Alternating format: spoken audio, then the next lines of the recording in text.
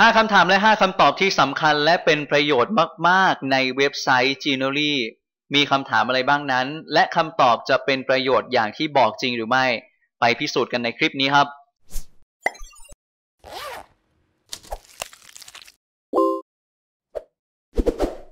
คำถามจากคนหนึ่งคนแต่กลับมีประโยชน์กับคนหลายคน ทุกท่านเห็นด้วยไหมครับ สวีดัสสวัสดีครับ ยินดีต้อนรับทุกท่าน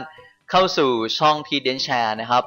ในวันนี้ครับเป็นตอนที่พิเศษมากๆนะครับ เพราะเป็นตอนส่งท้ายแล้วนะครับตามที่ได้ออกแบบและวางแผนเอาไว้สำหรับเว็บไซต์ที่สุดยอดมากๆ อีกหนึ่งเว็บไซต์ประจำปีนี้ นั่นก็คือ g n o l y c o m นะครับเราเรียนรู้กันอย่างยาวนานต่อเนื่องนะครับ มาถึง 14 คลิปด้วยกันวันนี้ขอจบคลิป ตามที่ได้ออกแบบเอาไว้นะครับ ในตอนที่ 15 เบาๆ สบายๆนะครับ จะมาตอบคำถาม ทั้งหมด 5คำถามด้วยกัน แต่บอกเลยนะครับว่า 5คำถามนี้เป็นคำถามที่หลาย ๆ ท่านอาจจะยังสงสัยอยู่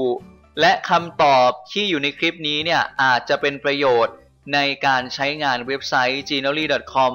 ได้อย่างคุ้มค่าและมีประสิทธิภาพมากที่สุดด้วยนะครับ เดี๋ยวเราจะไปดูกันว่า 5คำถามและ 5คำตอบนั้นจะมีอะไรบ้างที่น่าสนใจและนำไปใช้ประโยชน์ได้จริง ก่อนจะไปเรียนรู้ฝากกดติดตามก่อน ฝากกด Subscribe ด้วยฝากกดกระดิ่งเป็นกำลังใจให้กับที่เดนแชร์ก่อนนะครับ ไปเรียนรู้กันต่อได้เลยคำถามนี้นะครับหลายท่านอาจจะพอทราบอยู่แล้วนะครับ โดยเฉพาะใครที่ติดตามมาตั้งแต่ episode ที่ 1 มาจนถึง episode ที่ 14 นะครับ ผมก็ได้พูดย้ำไปบ่อยครั้งแล้วนะครับ แต่เพื่อความชัวร์ความมั่นใจเดี๋ยวเราไปดูอีกครั้งหนึ่งนะครับ วิธีการดูก็ไม่ยากครับ เมื่อเราเข้าระบบมาแล้วอยู่ในส่วนของ Dashboard นะครับ เราจะกดไปที่คำว่า Upgrade to Premium นะครับ กดคลิกเลยที่มุมบนขวาตรงนี้นะครับ ก็จะเปิดแท็บใหม่ขึ้นมานะครับ รอสักครู่หนึ่งนะครับ ก็จะเปิดในหน้าของการอัปเกรดขึ้นมานะครับ เราก็จะสามารถที่จะดูข้อมูลได้นะครับ อ่าโอเคมาดูกันนะครับ นี่นะครับแบบฟรีๆนะครับอ่าแบบฟรีๆตรงนี้นะครับ เดี๋ยวจะขออนุญาตพามาดูนี่นะครับคำว่าโชว์มอตรงนี้นะครับ ก็จะเห็นนะครับว่าในแบบฟรีๆนะครับ จะ unlimited creation เลยครับ นี่เห็นไหมครับแบบฟรีๆคือพูดง่ายๆว่าแบบฟรีๆเนี่ยก็สามารถสร้างสื่อเกมกิจกรรมได้ไม่จำกัดเลยนะครับ แต่แต่แต่แต่แต่นะครับ มีแต่เยอะมากเลย ใครที่ยังไม่ได้สมัครสมาชิก แนะนำให้รีบสมัครสมาชิกเลยนะครับ เพราะเคยเกิดเหตุการณ์แบบนี้จริง ๆ นะครับ ผมไม่แน่ใจว่าเป็นช่วงเวลาที่เขาปรับระบบหรือเปล่า หรือเป็นช่วงเวลาที่คุณครูหลายท่านเนี่ยได้ให้ความสนใจเว็บไซต์หนึ่งมากนะครับ มันมากขึ้นมากขึ้นมากขึ้น จนเกิดความผิดปกติ แล้วเว็บไซต์นั้นมีการปรับระบบโดยทันทีนะครับอย่างที่บอกไปผมก็ไม่แน่ใจเหมือนกันว่าถึงช่วงที่ปรับระบบหรือเปล่า หรือเห็นว่ามีคนสนใจเว็บไซต์เยอะมากๆ จึงทำการปรับระบบในช่วงเวลานั้น เพราะฉะนั้นถ้าเป็นไปได้ใครที่ดูคลิปแล้วหลายคลิปแล้วยังไม่ได้ตัดสินใจสมัครก็สมัครกันเถอะนะครับ ใช้เวลาในการสมัครไม่ถึง 3 นาทีก็สามารถเป็นสมาชิกแบบฟรีๆได้แล้วนะครับ ใครอยากดูข้อมูลส่วนอื่นเพิ่มเติมนะครับ ว่าแบบฟรีสามารถทำอะไรได้บ้างก็ ลองกดมาดูตรงนี้นะครับ อันไหนที่สามารถทำได้ก็จะมีจุดสีเทาขึ้นบอกไว้ในลักษณะแบบนี้เลยนะครับ นี่คือคำถามข้อที่ 1 และคำตอบข้อที่ 1 ครับคำถามที่ 2 นี้นะครับเป็นประโยชน์มาก ๆ เลยสำหรับใครที่มีเพื่อนนะครับที่สอนในรายวิชาเดียวกัน ระดับเดียวกัน แล้วนะครับเกิดสร้างเกม แล้วมีเพื่อนมาขอ หรือว่าเพื่อนสร้างแล้วเราอยากขอของเพื่อนมาใช้นะครับ เป็นการแชร์เป็นการแบ่งปันกัน ก็ง่ายๆ นิดเดียวนะครับ เมื่อเราสร้างเกมเสร็จแล้วนะครับ เราก็จะกดไปที่เกมเกมนั้นนะครับนำเมาส์ไปวาง แล้วก็จะเห็นสัญลักษณ์ของการแชร์ตรงนี้นะครับ ข้างๆ รูปคนที่มีเครื่องหมายบวกนะครับนำเมาส์ไปวางมันจะขึ้นคำว่าแชร์เรากดหนึ่งครั้งทำการคัดลอกลิงก์ Copy ลิงก์ตรงนี้ได้เลยครับ แล้วก็ส่งลิงก์เนี่ยไปให้กับเพื่อนๆ ตามโซเชียลมีเดียต่างๆ ไม่ว่าจะเป็น Facebook Line นะครับ แล้วคนที่เราส่งไปให้เนี่ย ก็จะสามารถเปิดเกมที่เราสร้างขึ้นมาแล้วก็สามารถใช้งานได้เลย แต่เขาคนนั้นจะไม่มีสิทธิ์ในการแก้ไขเกมใด ๆ นะครับ จะไม่มีสิทธิ์แก้ไขเกมใด ๆ เพียงแต่สามารถนำเกมไปเล่นได้เท่านั้น นี่คือคำถามข้อที่ 2 และคำตอบข้อที่ 2 ที่เป็นประโยชน์มากๆ ใช่ไหมครับ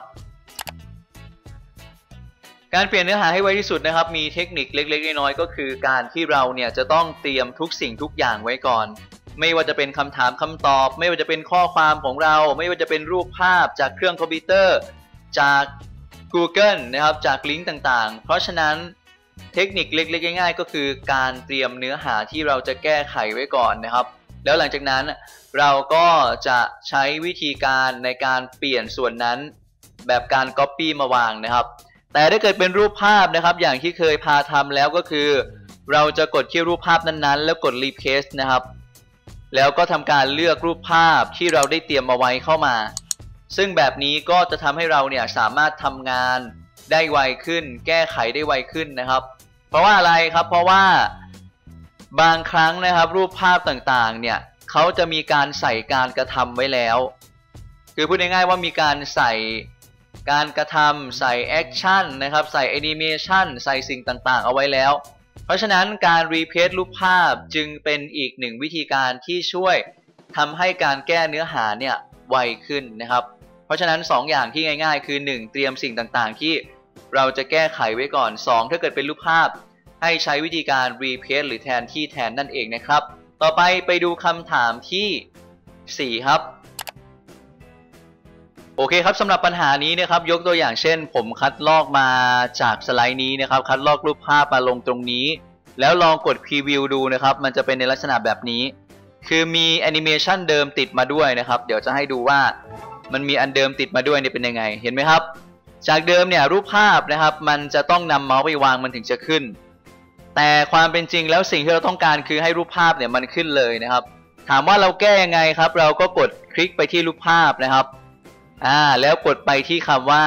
animation เห็นไหมครับว่าถ้าเกิดอันไหนมันมีนะครับ สิ่งที่เดิมซ่อนอยู่เนี่ย มันจะเป็นสีน้ำเงินในลักษณะแบบนี้นะครับ อันนี้มี animation นะครับ เราก็จะกดคลิกไปหนึ่งครั้งที่ animation นะครับ หลังจากนั้นนะครับให้มองที่รูปถังขยะครับ นี่นะครับแล้วกดรูปถังขยะเลยหนึ่งครั้งปึ๊บนะครับอ่าแล้วลองกดพรีวิวดูนะครับ เพียงเท่านี้นะครับแอนิเมชันทั้งหมดที่มันติดมาด้วยเนี่ย มันก็จะหายไปเรียบร้อยแล้วเห็นไหมครับ หายไปเลยก็คือการลบทิ้งง่าย ๆ แบบนี้เองครับผม และนี่ก็คือคำถามและคำตอบที่ 4 ต่อไปไปดูคำถาม และคำตอบที่ 5 อันสุดท้ายกันครับ แน่นอนครับด้วยความที่มันเป็นความใหม่นะครับแล้วยังไม่เคยใช้หรือเคยใช้อาจจะไม่บ่อยครั้งเนี่ย เราก็อาจจะนึกไม่ออกว่าเฮ้ยเกมนี้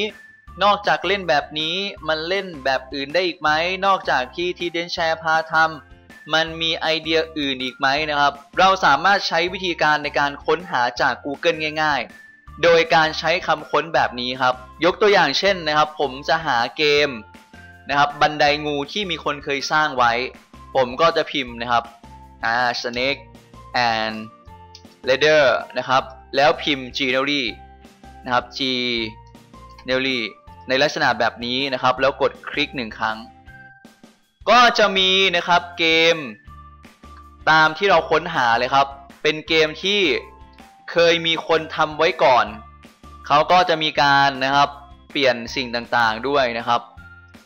อ๋อ นี่ไง เห็นไหมถ้าเกิดผมไม่กดเข้ามาดูเนี่ย ผมไม่เห็นไอเดียนี้นะ เพราะอย่างที่ผมเคยนำคลิปนำเสนอไปเนี่ยเขาเคยบอกว่าให้ใส่เฉพาะคำถามนะครับ แต่คุณครูสามารถใส่คำถามคู่กันกับคำตอบได้นะครับ นึกไม่ถึงจริง ๆ ครับ ถ้าเกิดไม่เห็นนะ นี่เลยครับคำถามเป็นตัว i สีเขียว ส่วนคำตอบก็อยู่ใกล้ๆกันนะครับ เป็นตัว i สีน้ำเงิน เฮ้ยเจ๋งอะ ได้ไอเดียแล้ว เดี๋ยวจะนำไปใช้บ้างนะครับ เราก็จะเห็นว่าเฮ้ยคนอื่นเขาทำแบบอื่นได้อีกนะ นี่นะครับอย่างที่ผมบอกครับว่ามันสามารถนำเข้ารูปภาพ แล้วนำรูปภาพเหล่านั้นมาเป็นโทเค็นหรือว่าตัวเดินได้ อืม นี่ไงนะครับ โอเค อันนี้เขาน่าจะเอาแบ็กกราวมาแทรกทำเองนะครับ ถ้าเกิดผมเดาไม่ผิดนะ นะครับ เนี่ยเขาก็เอาแบ็กกราวที่เป็นรูปภาพเข้ามาแล้วก็มาใส่การกระทำเองนะครับ โอ้ เจ๋งเลยนะเนี่ยนะครับ โอ้ อันนี้ อืม อันนี้เป็นรูปภาพอย่างเดียวเลย โอ้ อันนี้น่าสนใจนะครับ นี่นะครับ อันนี้ก็นี่นะครับเห็นไหมครับ อยู่ดีก็ลุกขึ้นมาเต้นนะครับ อย่างที่ไอเดียที่เคยทำไป อืมเจ๋งเจ๋งเจ๋งมาก ๆ อันนี้ก็เป็นโทเค็นตัวเดินนะครับ ก็ประมาณนี้ครับผม ในที่สุดนะครับ เราก็เดินทางมาถึงคลิปสุดท้ายของเว็บไซต์ g e n e r y แล้วนะครับ ถ้าเกิดใครอยากให้ทำอะไรเพิ่มเติม หรือในโอกาสหน้านะครับ ที่เดนชัยอาจจะทำเกมอื่นๆ ที่ยังไม่ได้รีวิวเพิ่มเติมก็ได้ ยังไงก็ฝากติดตามเป็นกำลังใจให้ด้วยนะครับ ถ้าชื่นชอบเนื้อหาที่อยู่ในคลิปนี้อย่าลืมกดถูกใจกดไลค์กดแชร์ด้วย และที่สำคัญที่สุดที่สุดและที่สุดเลยก็คือ ดูคลิปนี้จบแล้ว อย่าลืมนะครับสมัครสมาชิก ลงมือสร้างสักหนึ่งเกม และนำไปใช้จริง เชื่อว่าเว็บไซต์ g e n e r y จะเป็นอีกหนึ่งเว็บไซต์ประจำปีนี้ที่เป็น The Best ที่สุด และช่วยเพิ่มรอยยิ้มเสียงหัวเราะ ความสุขและความสนุกในการเรียนรู้ให้กับชั้นเรียนทั่วประเทศไทย ได้อย่างแน่นอนที่เดนแชร์เชื่อแบบนั้น และเป็นกำลังใจให้กับคุณครูทุกท่านนะครับ ก่อนจะปิดคลิปนี้ออกไปเหมือนเช่นเคยเด้อฝากกดติดตาม ฝากกด Subscribe ฝากกดกระดิ่งเป็นกำลังใจให้กับทีเดนแชร์ในการผลิตคอนเทนต์ดีๆ แบบนี้ต่อไปด้วยนะจ๊ะ คลิปนี้ต้องขอตัวลาไปก่อนนะครับ สวีดัชสวัสดีครับ อย่าลืมไปลอง และหวังว่าจะได้ประโยชน์จาก 5คำถามและ 5คำตอบนี้ เพราะความจริงแล้วคำถามสำคัญกว่าคำตอบครับ